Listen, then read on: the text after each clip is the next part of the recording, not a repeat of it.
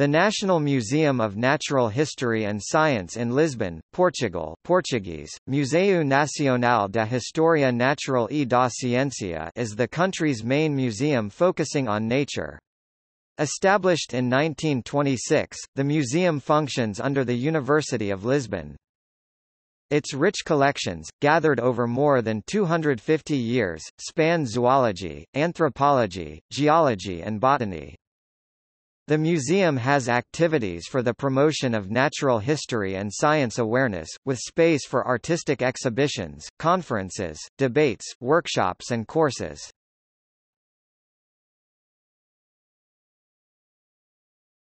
Topic: History. Its public designation is MUHNAC National Museum of Natural History and Science. It was founded in October 2011.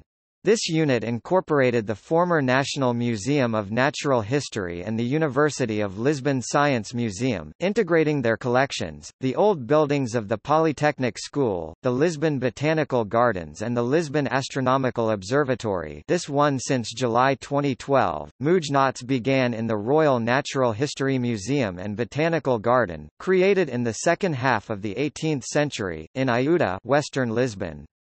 It was then housed for a short period in the Royal Academy of Sciences and transferred to the Polytechnic School 1858, first denominated as the National Museum of Lisbon 1861. The Botanic Gardens of Lisbon officially opened in 1878. In 1911, with the creation of the University of Lisbon, the museum was attached to the Faculty of Sciences, taking the name of National Museum of Natural History in 1926. In March 1978 a devastating fire destroyed much of the building of the former Polytechnic School, as well as the zoology collection and part of the geology collection. The faculty then moved to other premises. The Science Museum of the University of Lisbon was created in May 1985, sharing the building with the National Museum of Natural History.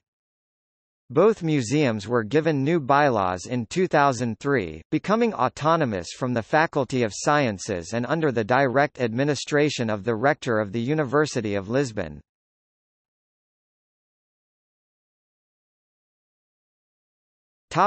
See also University of Lisbon